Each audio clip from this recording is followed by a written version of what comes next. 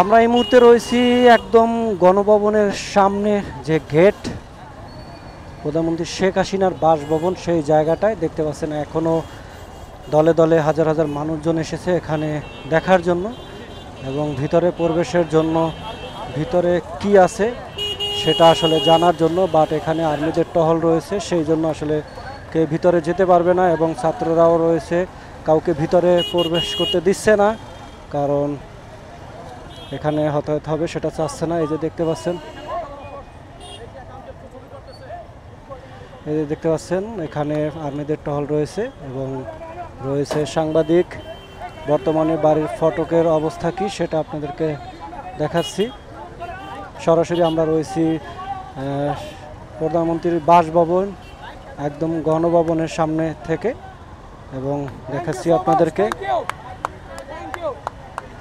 এবং এখানে বর্তমানে আর্মিদের টহল রয়েছে এবং রয়েছে সাথে সাথে ছাত্ররাও রয়েছে। একদম মেইন ফটক এটা। দেখতে পাচ্ছেন ভিতরে একদম ভাঙচুর, ধ্বংসবশেষ। সব কিছু ভিতরের অবস্থায় একদম পাল্টে দিয়েছে চিত্র। ভিতরে আসলে কিছুই নাই এক কথায়। এবং এখানে রয়েছে, দেখতে পাচ্ছেন বাহিনীর এবং সাথে ছাত্ররা দুই দল মিলে আসলে কাজ করছে এবং শান্তিপূর্ণ এই জায়গাটা একদম সুন্দর ব্যবস্থা রেখেছে তারা এবং বিভিন্ন জায়গা থেকে অনেকে এসেছে দেখার জন্য। দেখতে পাচ্ছেন, এখানে টহলে রয়েছে। অনেকেই দূর দূরান্ত থেকে দেখতেছে, এখন বর্তমানে ভিতরে একদমই খালি, বাড়ির ভিতরটা একদমই খালি রয়েছে। শুধু ছাত্ররাই আছে। ওকে কাউকে ভিতরে এখন প্রবেশের জন্য আর অনুমতি দেওয়া হচ্ছে না। দেখতে পাচ্ছেন? অনেক অনেক লোকই এসেছে এখানে আসলে। তারা আসলে এখানে ভিতরে প্রবেশ করার জন্য বাট ভিতরে এখন অবশিষ্ট কিছুই নেই।